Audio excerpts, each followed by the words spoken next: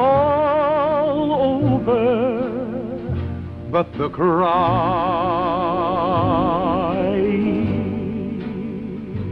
With the world poised on the brink of war, Vault-Tec is reporting a record number.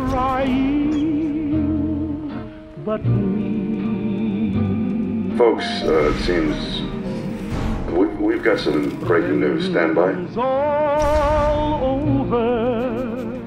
No, I'm trying.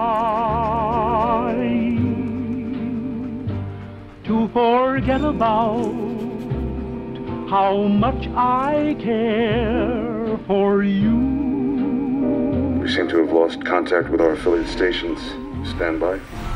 We do. We do have.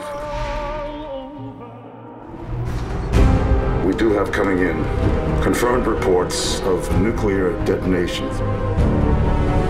My God. Our soldiers were right.